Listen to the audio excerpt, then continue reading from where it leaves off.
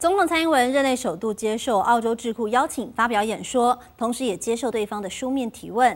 蔡总统提到，台澳两国在防疫物资的共享以及资讯公开透明，使两国都安然度过了第一波疫情攻击。而针对了大家关心的两岸议题方面，蔡总统也重申，强调北京的一个中国本质就是一国两制，台湾人民无法接受，因为台湾人的未来要由台湾人自己决定。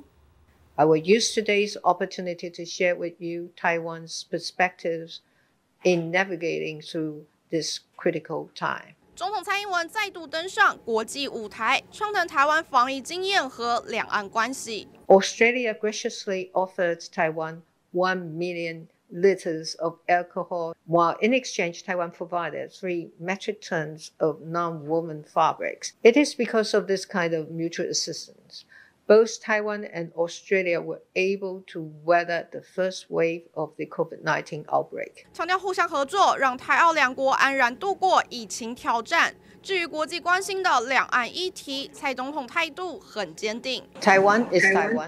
Our existence simply cannot be questioned. I also want to emphasize that the future of Taiwan is to be decided by the people of Taiwan. This is what we have been insisting. 面对中国威胁，蔡总统强调，台湾会加强军事实力，提升防卫能力。My government has made quite serious commitment to increasing our defense budget. Taiwan is on the front lines of democracy in the world.